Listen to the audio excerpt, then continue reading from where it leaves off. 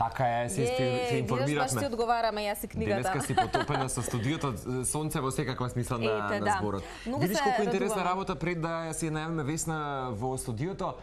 Таа ни откри сега зад камерите дека ти и тогаш колешката Елена сте били инспирација и потик за да ја Па направи. баш се радувам ако е тоа така, ќе ќе откривам многу повеќе за животната спортска приказна на целото семејство Кираџиеве, бидејќи мислам дека веќе се некаков синоним во Македонија за тоа што значи спорт, што значи цел живот да го посветиш буквално на спортот. Ако не се лажам, Весна Еве, ќе ја видите Е, во, таа во кадар. Весна, добре ни дојде. Добре ме најдов. поздрав. Ако не се лажам и Тилма имаш еден документарен филм посветено на на вас, Да, имаше, двајцата. имаше, да, документарна емисија која што баш ме ме радува што ете Телман ни голем поддржувач, Во така својата да, да, во својата Да. куќа, па да. После да. колку време јас те прашав сега кога ни дојде во студио, велам дали беа 10 години, дали беа дали беа 20, но буквално после Да, како да, рековме да. цел живот Цел е живот. тука напишан на колку страници, 300 и нешто. 300, да, речи си 300. нешто- нешто повеќе да. да. А, Како успеавте да или колку време работевте на сето ова да го напишете ете на во, или да го конзумирате или а, концепирате во едно убаво книжевно да. дело, да. А, вака, а, книгата всушност не ни е седната така да ја напишеме одеднаш. А, работевме долго време со оглед на тоа што водиме наш сајт nelindunes.mk Така. и тука секогаш објавуваме прво пред се нели наши искуства, а Спортски друго наслади, искуства, ваши така, резултати, така, да, резултати, секогаш. кога имаме нешто што ни се случува, нешто ново, еве некои резултати. Бога ми имате така, армија од фанови како Кираџиви Се со надевам. оглед на дека навистина Се сте еден синоним и прототип за за македонското општество. Се надевам дека дека е така и баш и тоа ни беше идеја затоа што многу често се случува и така а, во, во пораки, во инбокс да не сретнат луѓе на ке или на улица било честитаат. каде да честитаат, да не прашаат нешто за совет и, и многу често се поставуваат истите прашања што сакаат да знаат посебно еве ако се почетници или пак се, ин- се интересираат за спортот а, да не прашуваат прашања кои што ние иако ги споделуваме на нашиот вебсайт, сепак очигледно дека не стигнуваат информации до Ама сите со голема радост секогаш возвраќате. Да, да, да, секако, секако. И за тоа и се решивме ете така да ги спакуваме сите тие искуства, знаења, се што имам и предходно Паралелно споделено. пишувавте Паралелно. и ти брат, братот Александар А, или да, с- значи сосема спонтано, не беше ништо испланирано кој колку ќе има напишано, како ќе како тоа ќе изгледа, туку буквално онака статии кои што ги имаме пишувано и предходно на сајтот и некои кои што не сме успеале да ги објавиме, а ни биле така при срце, а, ги спакувавме во во една книга. Весна, ова ќе биде впрочем како еден ваш дневник кој што Така сте го направиле до Точно. до сега. Буквално, да. Точно, А понатаму дефинитивно мислам дека ќе заслужува и следни надевам, следни ќе видиме како- ќе да Да, вака вели почетната страница. Реални приказни за растежот, падовите и за успесите на еден брат и една сестра во свет во кој што трчањето е помалку од ништо, но повеќе од се. И навистина е така. Така е, така да. трчањето кај нас не е некоја дисциплина која што е многу многу вреднувана, Точно. почитувана и така натаму, но вие успевте низ годините некако да ја поставите на пиедестал, да така. да Така да е, имате дефинитивно. може би армија од следбеници кои што ќе го следат вашиот пример. Висна ќе ни кажеш зошто издржи кралица, а ние ќе поканиме еден од вас да ни се вклучи и да го, наградиме. наградиме со оваа прекрасна книга. Особено ќе се радуваме ако сте можеби спортист, го сакате трчањето и Се поистоветувате со резултатите Ете. на Кираџиеви дефинитивно. Да. Не знам зашто сега а, додека Само да ми каже, Весна, додека- зошто да, издржи кралица? Издржи кралица и се видам се веројатно додека трча се вели издржи, издржи, издржи. А, да, мо- може да се каже дека тоа е, а, е, е една од причините. А, меѓутоа е многу символичен насловот. А, значи Endurance нашиот клуб се во превод значи издржливост. А, и сакавме да го искористиме тој термин, меѓутоа да не биде така англицизиран, да речеме. А, па го преведовме некако а, издржи атлетиката, а, исто така другата символика за кралица, атлетиката е кралица на спортовите. Тоа е значи така во, во светски рамки. За жал кај нас како што кажавте вие двајцата дека атлетиката не е на такво завидно ниво да речеме како што се фудбалот, кошарката, ракометот, се уште а, се не е третирана јас Како да. се- Убаво сте да, кажале во не- свет во кој што трчањето е Да. помалку од ништо, за вас е повеќе од се. Дека не е третирана баш како, како кралица, како што треба да биде третирана атлетика која што е основа, база на било кој друг спорт.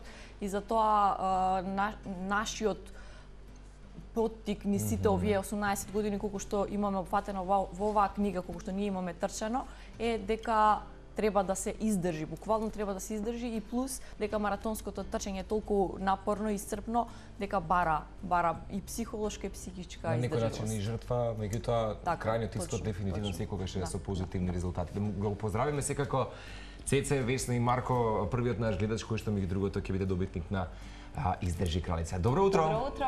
Добро утро. Со кој се дружим?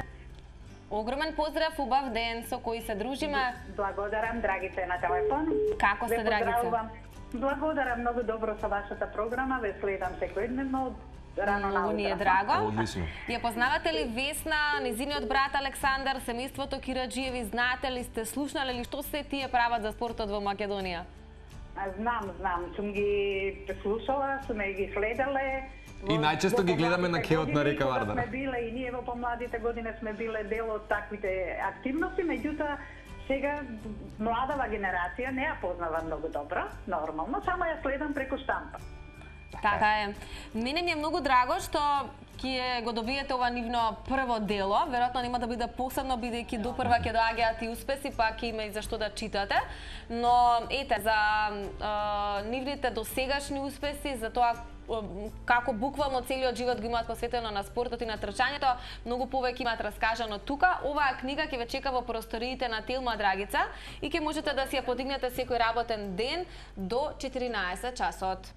Благодарам многу, ви посакувам убав ден. Исто Убав ден да имате и вие. Поздрав. А, само ќе ги поздравиме секако и издавачката куќа 3 или Павлишер кој впрочем ете се Да. главните поддржувачи на Нова Римек дело ваше да, прво наши чело. пријатели. Јас сум, да. Јас сум и многу благодарна што ни излегувате во пресред. Буквално беа фасцинирани, мислам, беа воодушевени дека нешто Висна, вакво вие баравте издавачка куќа или како како еве Да. пишувате книга, А, меѓутоа нели прва- треба некој да ве баш љубов на прва страница. Љубов на прва страница.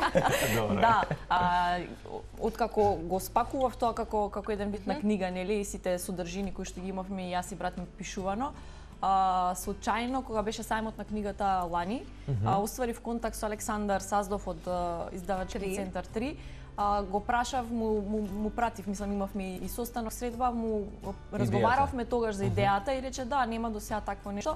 Ќе прочитам чисто да видам дали дали воопшто ние како таа тема може да ја објавиме затоа што сепак си имаат нели Критериуми своји, така да критериум. речеме. А, и тогаш беше нешто после Скопски маратон и беше како, па добро, ајде сега помина Скопски маратон, ќе почекаме нешто поинтересен момент за да биде А ова баш беше Да, вистинскиот да, да. во очи на Така, скопскиот така, ма- и маратон. така помина, значи скоро еве цела година, пак повторно се видовме некаде после нова година, значи сега оваа година, ми кажа да, зашто да не ќе го искористиме Скопски маратон како баш како да имаме некоја таргет, да речеме. да, таргет група Одлично. која што веќе знаете сите се малце поеуфорични, се подготвуваат трчаат и така испадна да да ја истуркаме до до пред Скопски маратон и да ја промовираме баш мислам Какви се првите коментари од оние кои што ја прочита или кој вас по дома ви беше личен критичар за ете уште не издадена книга? А, дома знаеа три дена пред издавањето на книгата. Не- не ни знаеа? Не ни знаеа, да, не, не им кажавме, мислам дури на пријателите, само два тројца најблиски. А некогаш и подобро Да, тоа. подобро затоа што Да. не сакавме од страна да ни суфлира, да, ова треба да го направите, ова Да. треба да направите. Сакавме да даш, да биде да баш нешто наше и плюс сакавме да биде изненадување и за публиката и за домашните.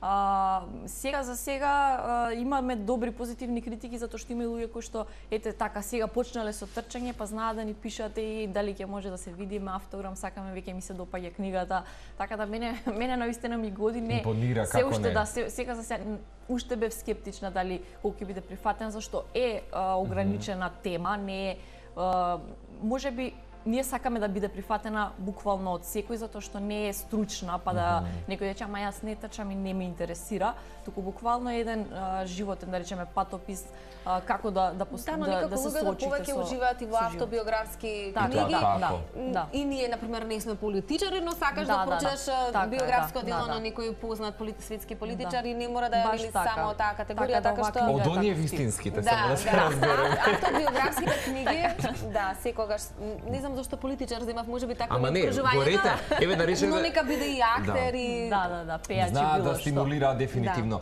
А, Весна, што би значеле 18 години а, падови за Кираджиев. Ако ги сублимираме и од прилика, дали и тие емотивни моменти кои што сте ги доживееле се Да, се, се. тука. баш тие емотивни моменти кога сме или кога сме биле баш онака да речам, ајде да речам условно речено депресивни, а, кога ни било тешко, кога затоа што Имало пак ќе кажам. навистина, да, кога имало сакале да се откажете? Да, имало многу такви моменти кога се замислуваш добро зашто го правам ова атлетикава во Македонија, знаете, никој не ви враќа со ништо. А, меѓутоа, ајте, сме се избориле денес, кајте имаме и многу луѓе кои што не поддржуваат, компании веќе кои што почнаа да не поддржуваат спорт, спортски брендови, да речеме во Македонија. Така да, да, навистина Јас дека после 10, 20 години вие ќе бидете онака некој историски момент во во во атлетиката во Македонија, Се како се развивала и така. маратонското трчање така натаму, кога веќе сме на таа тема, како поминавте и ти и целото семејство Кираджиеви на последниот скопски маратон и на она што викендов се одржуваше на водно прв до врв една успешна и убава манифестација. манифестација. Така ни се ни се споја така сезонава а, повеќе интересни Месец манифестации. во да, да, со да, спортски да, е така. И тогаш почнува атлетската сезона, така да не е досадно кај нас. А, Скопски маратон одлично помина, јас како што си очекував си одбранив титулата државен првак Браво! во маратон. Браво, Веси. После автограм. Обавезно. А, и, а, брат ми Александар исто така си одбрани титулата државен Браво првак. за Александар. Сигурно може да гледа фамилиарно сега. ќе досад, ќе станеме Не, досадни. апсолутно. Да, и оваа година уште еден нов член во нашето семејство, неговата сопруга. Браво! Мојата сна, Милјана. и, и, и наследникот дефинитивно да, мислам дека ќе ќе видиме, ќе да, биде дел мало Се зголемуваат? Кираджиеви, се, да. се. Така да има време за него, ама го сметаме за мало олимписка надеж. Така да. Нели, без форсирање. Може би тој ќе биде а, иницијаторот за да речеме атлетиката навистина да биде кралица на спортот во Македонија. Никогаш не се знае. да, никогаш не се знае. Сега за сега и они самите кажуваат неговите родители или брат ми, а, дека нема да го форсираат, ама потајно така си посакуваат. Потајно сака да, биде наследник, да, не се Така, лажеме. така. Мар- Марче, не знам дали знаеш, Весна, овие детали што ги гледаш на незе, сама ги изработува. Да, мора да мора да мене тета ми избрефира околу тоа и навистина гледам дека си дама која што е креативно да, Да. има во во својот живот, меѓутоа како велат мултитаскинг, веројатно не се заморуваш од од и креативни тоа, дел да, животот. интер, интересно ми е кре- креативноста најчесто преку трчањето ми ми доаѓа во моменти. Па, А, во тие моменти веројатно многу мисли поминуваат низ глава, Весна. поминува се и се што посебно во еден маратон кој што трае повеќе од 3 часа, така да некако веројатно и треба да се изразам таа креативност и сега работам и во, мислам работам. Учам во модното со студио кај Булевски, наш познат дизајнер, така да се надевам дека може Уште би една наскоро алтернатива во животот. Да, тоа ќе ми биде. Ќе видиме, видиме, ќе видиме. Тоа е Нека Да. биде за идните планови кои што допрва ни ни доаѓаат. Би сакал да споменам како ќе биде одбележана на друг начин 2017 од Кирадживи. Летото ќе го оставите малку да да се земете летен така период не се трчат маратони. трчат. Да, нема, нема, затоа што прво временските услови така. не дозволуваат, меѓутоа ќе се посветиме повеќе на подготовки, ќе видиме како ќе биде. На есен здравје имаме тука во Македонија во Прилеп поштенскиот маратон, така традиционално си го трчаме јас и брат ми, ќе видиме нели оваа сезона како ќе биде. Razonoda. Razonoda. trening, trening. trening. trening, da. А, а за надвор јас сакам да додам, а, знаете, на Скопски маратон беа а, сестрите Луи од Естонија, близначките беа гости. тие вистински хит. Хит беа, да. Трите плавуши. Јас им бев како домаќи четврта плавуша. и добив од нив убава покана да им бидам гостин таму во Талин маратон, на Талин маратон, така да ќе видиме како ќе Кога се одржува испадне. тој? Во септември, некаде прве, првиот викенд, 10 септември, така нешто. Боже, Токио, Њу Йорк. а, Да, тие ми се така на, на листата На листа. за На листата Must на have или must do? да, must do. А, за тоа треба малце повеќе финансии, другото не. Секако. Така да ако секако најдеме поддршка, покровители, спонзори, институции државни кои што би сакале да не помогнат ете да ја представи Македонија и надвор од од Европа. така Тоа е, би било така е. одлично, одлично. Да, ако треба да ги стимулираш сега нашите гледачи, бидејќи и мои лични пријатели обкружување секогаш велат дека навистина голем предизвик е да го фатиш маратонот под рака и да почнеш да се подготвиш можеби кондицијски за за тие предизвици. Која би била препораката твоја?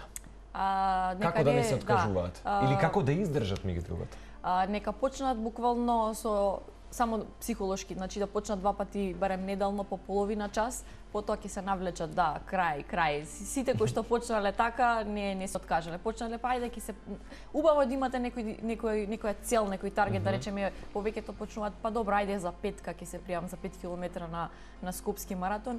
А, па ќе видиме као, како како ќе ни како ќе ни оди понатаму и повеќето се префрлаат после на, На полумаратон и завршуваат на маратон, да. Весна и велата, трчањето е најефтиниот спорт. Каде и да одиш, ти Така, требаат можеш, единствено да. патики, Да. соодветни и можеш и да одиш и во рурална средина Да, и да секаде. одиш и Да, во некоја и- голема метропола, едноставно само Благодат. патиките со тебе и и можеш не да ти треба да речеме тим, топка, луѓе, излегуваш сам, да, излегуваш сам и, и трчаш, можеш и на плажа да трчаш и во планина, секаде буквално можеш да, го правиш тоа. Uh, се согласуваш дека навистина е во подам и трчањето Така кај да, нас и во. Скопје особено. Мислам дека Баш некако последниот последниве години Така некако е. тренд да живееш здраво, да се Да. Мислам дека- смути да имаш во секој Да, ден да, да. исхрана. Мислам дека да веќе не е ниту помодарство, туку Да. напротив, мислам дека луѓето се свесни за уште пред а, 3-4 години, ако не повеќе, ако не се лажам, почнавме еден една кампања да ја наречам од нашиот клуб која што нарековме атлетиката не е тренд, туку ексклузивит, не е тренд, не е ексклузивитет. А, и баш тоа се случува така денеска, да, тоа се случува денеска, значи не, нас не ни пречи воопшто што ете го сметаат како како тренд повеќето сакаат и да излезат па да бидат и видени, па да се сликнат. Тоа воопшто не ни пречи затоа што Нека нас почне како не тренд. Да, нас не радува. Ние кога почнавме тоа веројатно го имаме и во книгата споменато пред 18 веќе 19 години. А, кога почнавме на Кеј бевме само ние уште 5-6 луѓе од нашиот тим тогашен. А, и буквално а, и луѓето ни се чудеа, ни се смеа што братовие будалите, само трчаат секој ден кираџијави и низ мало кој не видеа дека претрчуваме за да стигнеме до Кеј. Буквално така беше. А, ако машко облече хеланки бициклистички, што е Табу. да табу, зашто така да не е геј, да не ова, да не ова, знаете, такви неки стереотипи што сега буквално секој облекува хеланка, се стегнува да изгледа убаво, да му биде Да се лесно топат масти. да се топат масти, така да мене ми е драго што смеете тие кои што го го почна овој тренд условно речено, Така е. затоа што ние го работиме тоа професионално, меѓутоа луѓето кои што сакаат да рекреираат, да се чувствуваат а, комотно, здраво, да, кондиционо да се подготвени за било каков предизвик, психолошки да се подготвени, се, се повеќе трчаат, така да а, убав тренд е. Ако е тренд. Пулсирате како и до Да. сега во Ви овој дух и а, јас сум 100% убеден и верувам во тоа дека а, ти и твојот брат Александар па делум некои 20-30% од моменталните маратонци кои што трчаат, дефинитивно вие сте вистинскиот стимул, така што продолжете го трендот и дај Боже вакви книги по, што повеќе едиции да имаме од од Кираџиви, од каде што А продупло мене ќе ми биде драго ако предходното гостување те инспирирало те Да. да создадеш книга, дека ова денеска ќе Да, како ќе Може така филм е. да инспирација, да, За ќе филм. биде Првиот пат инспирација каже за филм, нешто. јас ќе кажам дека тука почнала Да, да, да. инспирацијата. Не, навистина да, ми е драго ако инспирираме те да, да, да луѓето создаваат и прават убави убави нешта. Нашата утринска на е Телма тоа. навистина е отворена да поддржува И убави среќен работи. роден ден ја ви кажав. Е, Благодариме, благодариме, да. Да. Значајно Нека ви беше се множат многу, па да доаѓам што еве вака. Да, да, има каде да доаѓате Така. и да Одлично. промовирате. Поздрав до цело семејство Кираџиеви, ве чекаме со со новите резултати и победи ваши.